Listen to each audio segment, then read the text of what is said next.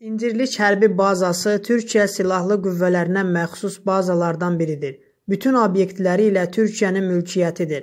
Assabaqomun məlumatına görə bu barədə Türkiyə Milli Müdafiə Nazirliyinin bəyanatında deyilir. Bəyanatda qeyd olunur ki, Türkiyə 1980-ci ilin martın 29-da imzalanmış sazişə əsasən bazadan istifadə etmək üçün ABŞ-a icazə verir. Bazada ABŞ hərbiçiləri ilə yanaşı İspaniya, Polşa və Qətərdən də hərbiçilər və digər personal fəaliyyət göstərir.